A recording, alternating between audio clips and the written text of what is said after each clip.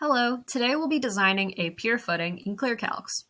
So we are designing based on US standards as per IBC 2018, and we'll be taking a look at this example here. So this example is trying to design a deck, and it is to be 10 by 20 feet, so that'll be a total of 200 square feet. It is to be attached to a house along the length and supported by two pier footings on the opposite side. So reading the text here, we are trying to support 40 pounds per square foot of live load. So that will be for people and furniture. And the dead load, which is the weight of the building materials, is going to be 15 pounds per square foot. So if we determine how many pounds each post has to support, we can draw a line across the middle and we'll see that 5,500 pounds of load is being transferred towards the house, and then the other 5,500 is being transferred towards both piers.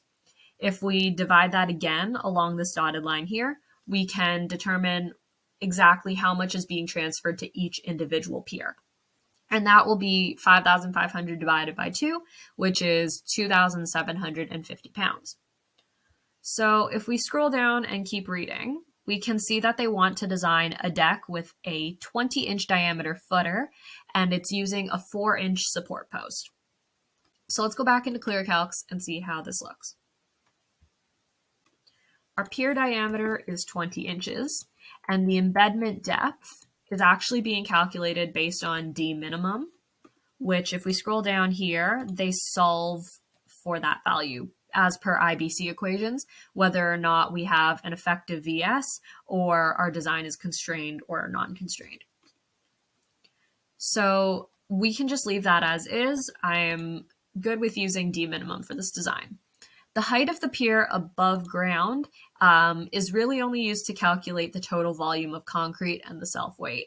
So by default, this is just one foot and here we can see in our diagram that it sticks above ground by one foot. Um, setting this to zero would mean that the pier is completely buried, but I'll just leave it at one foot for now.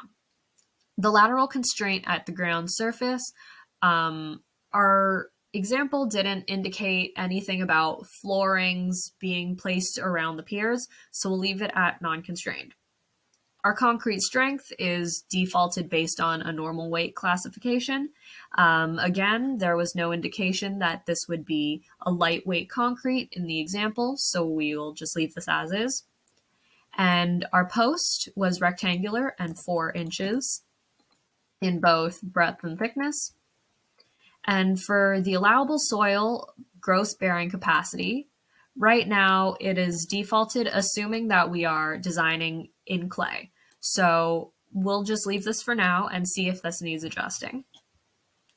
For the applied loads, if you had a lateral load applied at the height of a deck, we could indicate the height of the deck here, and that will be above ground surface. Um, but since we don't have a height of the deck in our design, we will just use a vertical load and apply that as since it's being transferred through the column.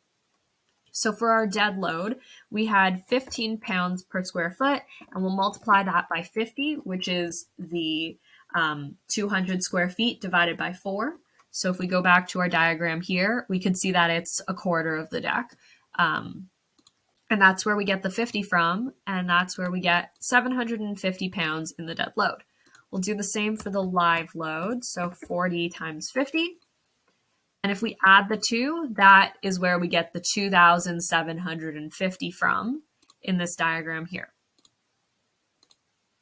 So if we go up, we can see we've inputted all of our designs from the example, um, but our design fails in vertical bearing pressure. So based on this example here, and this calculation, it's being checked by QS over QA. So QA is actually defined based on the soil. So potentially our project isn't being made in an area where there's clay. Maybe we have sandy gravel at 4,000 pounds per square foot. And that allows our design to pass and our checks would be good. Um, but maybe we actually are designing in a clay area and we do need to keep that at 1500 Then we'll look at QS. This is being determined by PS over AG. So if we look at our ASD load combinations, we could see that PS is the governing axial load. Um, and this is being defined based on our applied loads that we defined earlier. So we can't really change that, um, but we can change AG, which is the gross area of the pier. We can change that by adjusting the pier diameter. So let's try increasing it by two inches. We can see that our design now passes at 98% utilization. Um, but maybe we want a more conservative design, so we could use 30 inches instead, and we can see that our design passes. Um, so that, that's how you design a pier footing in ClearCalcs. Thank you for watching.